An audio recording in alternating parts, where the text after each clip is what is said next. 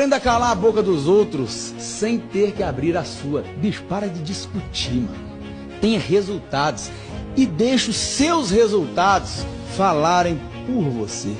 Você vai ter resultado na hora que você parar de escutar crítica construtiva de quem não construiu nada. Vai na sua e tenha